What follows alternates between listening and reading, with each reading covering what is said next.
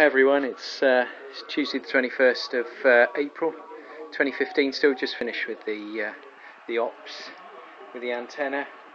And uh, here at uh, G3VRE we'll just head up and have a quick look at the, uh, the finished article. And uh, and uh, there you go.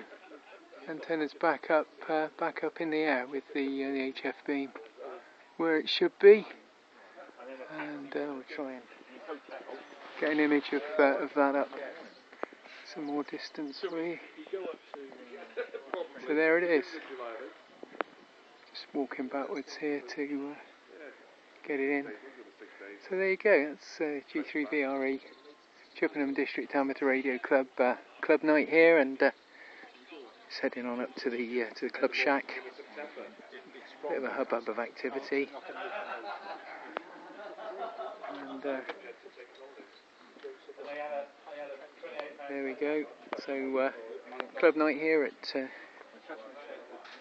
Chippenham, and uh, hopefully uh, you've enjoyed the videos of the antenna work we've done today. So I look forward to seeing you again soon, and uh, hopefully see some of you locals down the club in the future.